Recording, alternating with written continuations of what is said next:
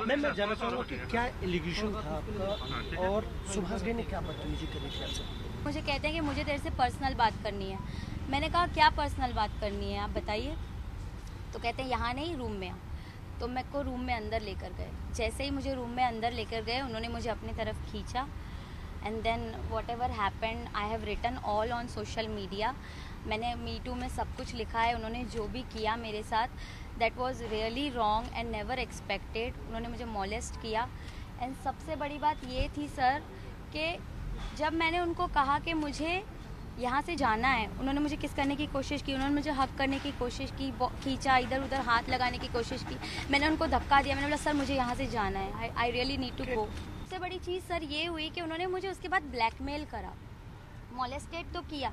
उसके बाद थ्रेटन लगाया, ब्लैकमेल किया। मुझे बोला कि आप यहाँ से बाहर जाके बताओ। मैंने कहा, मुझे जाना है।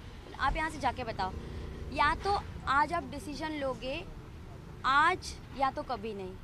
आप डिसाइड कर लो आपको क्या करना है। और इंडस्ट्री में आपको काम करना है कि नहीं करना है मैं आपको लॉन्च नहीं करूँगा अगर आप पूरी नाइट मेरे साथ नहीं रुके तो। ये उन्होंने कहा मुझे। ये मेंटल टॉर्चर उन्होंने मुझे दिया। शायद कोई और लड़की होती तो मैं भी रुक जाती। कि क्या पुलिस स्टेशन में आने से पहले आपको कॉल आया था?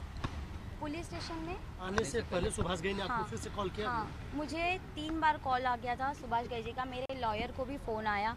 सुभाष गई जी का। उन्होंने कहा कि लेट्स कॉम्प्रोमाइज़ पुलिस स्टेशन में पहुँच गई है केट मुझे बिल्कुल अच्छा नहीं लग रहा है। हम लोग इसको सॉर्ट आउट कर लेते हैं। लेकिन उन्होंने ये चीज़ कही कि अगर वो ये सब करती है ना तो ये उसके लिए ख़राब है। उसको काम नहीं मिलेगा। उसको कोई पूछेगा नहीं इंडस्ट्री में। उन्होंने ये चीज़ कही। पर मैंने आज तक पुलिस स्टेशन देखा नहीं था। मैंने कभी पुलिस स्टेशन फेस नहीं किया। ये मेरा लाइफ का फ़र्स्ट एक्सपीरियंस है। जब मैं रिटर्न कंप्लेन या आई हैव गिवन रिटर्न मैं जब बोल रही थी मैं काँप रही थी मैं रो रही थी मुझे नहीं पता। लेकिन मुझे इसके आगे स्ट्रिक्ट एक्शन लेना है। That's why i'm speaking today and i'm speaking confidently because i am right. And i want strict action to be taken against subhash gai